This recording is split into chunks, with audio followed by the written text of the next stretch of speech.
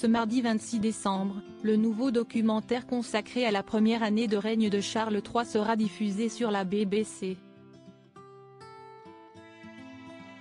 L'occasion pour les membres de la famille royale de prendre la parole, à l'image de la sœur du roi, la princesse Anne.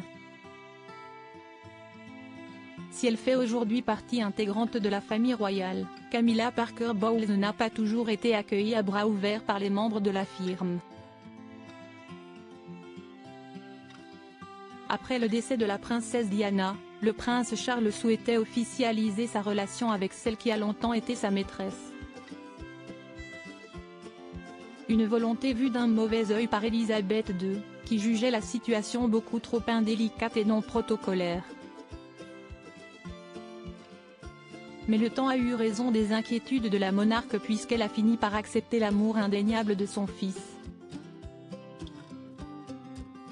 Quelques mois avant son décès, la mère de Charles III avait même eu des mots tendres pour sa belle-fille alors qu'elle s'adressait au peuple britannique.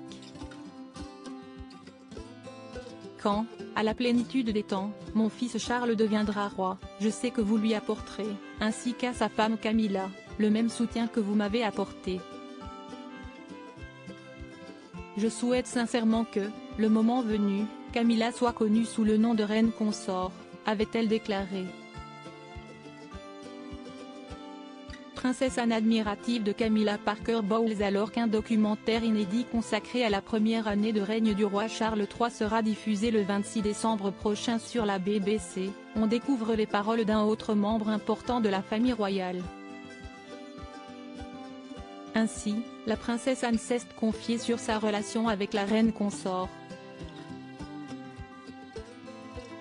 Je la connais depuis un moment, de façon interrompue, a confié la sœur cadette du roi, avant de préciser sa pensée, sa compréhension du rôle et la façon dont ça fait la différence aux yeux du roi sont absolument incroyables. Pour la mère de Zara et Peter Phillips, le rôle qui incombe à la reine consort ne lui vient pas naturellement mais elle le fait très bien.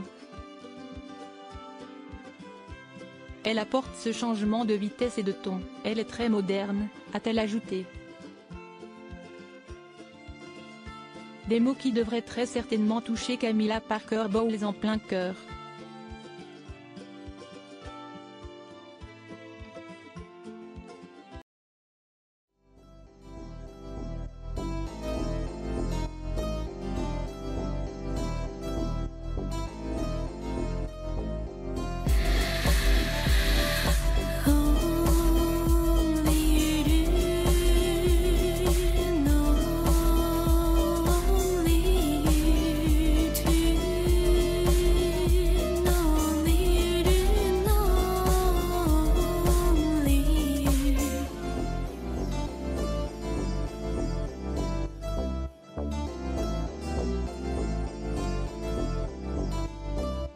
You.